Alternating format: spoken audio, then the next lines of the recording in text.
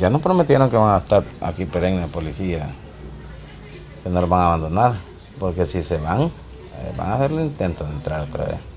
Y pueden venir a matar a cualquiera acá. Es uno de los residentes de la comunidad Tutunichapa 3, ubicada en las cercanías de la colonia Guatemala en San Salvador.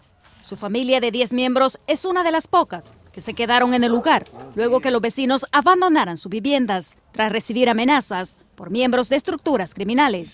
La gente de abajo optó toda rápidamente bajo el agua, se la dieron carrera, unas cosas. Nosotros, nosotros hemos quedado aquí, el vecino. ¿No tienen temor ustedes?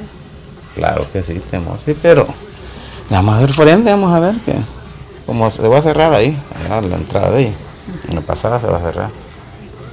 O sea que esas personas que han hecho las amenazas son de otra comunidad. En la Sanjuda, del otro lado del río.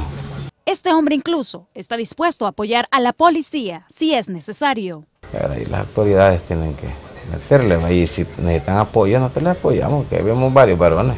Estamos dispuestos a todo.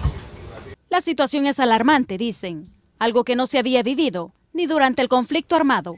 Yo lo que tengo, si tengo 73 años, posiblemente unos 70 años de que mis padres vinieron aquí. ¿Ninguna vez había pasado un episodio? No, no, no, nunca, ni en la guerra, ni en la guerra habíamos pasado.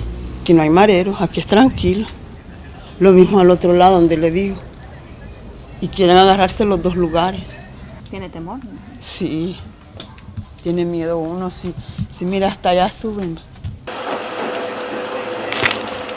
La reacción de la policía y de elementos de la Fuerza Armada fue inmediata y realizaron un operativo en las comunidades aledañas a la Tutunichapa, en busca de los responsables del éxodo de las familias. Nos hemos iniciado a partir de las 0430, ¿verdad? Desde los Amaya, los condominios Guatemala, el condominio de la comunidad de Los Sánchez y lo hemos extendido a todo el perímetro, ¿verdad? tenido acciones de carácter preventiva y hay procesos de investigación que se están siguiendo para revisar en realidad qué es lo que ha ocurrido. El jefe policial no habló de capturas, pero sí de retenciones, además de asegurar que ya se inició una investigación sobre el surgimiento de las amenazas.